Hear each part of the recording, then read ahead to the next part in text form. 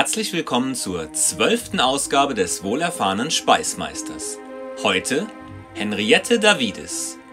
Die Westfälin gilt als die berühmteste deutsche Kochbuchautorin und ihre Bücher wurden bis in die 1990er Jahre aufgelegt.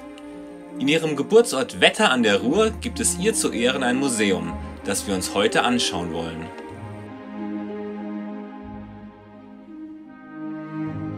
Im Erdgeschoss des Museums wurde zunächst das Wohnzimmer in verkleinerter Form rekonstruiert. Das Mobiliar und die Inneneinrichtung sind dabei im Originalzustand.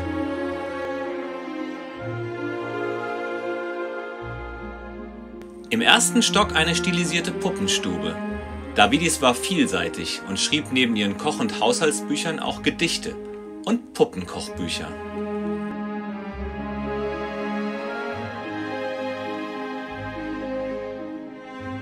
Der eiserne Herd stammt aus der späteren Schaffenszeit von Henriette Davides. Mittlerweile waren ihre Kochbücher so bekannt, dass Unternehmen sie als Werbeträger nutzten, beispielsweise die Firma Liebig, die ihre Rezepte in ihren Kochbüchern nachdruckte.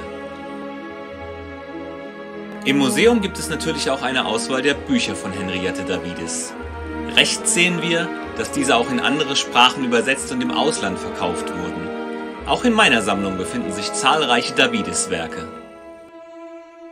Der Beruf der Jungfrau aus dem Jahr 1876, Die Hausfrau aus dem Jahr 1861, Das Kochbuch für die Deutschen in Amerika aus dem Jahr 1899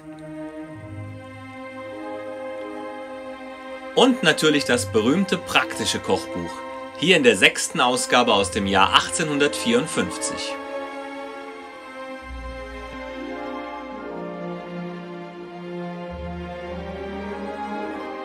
Zum Nachkochen ein Gericht aus der Heimat von Henriette Davides.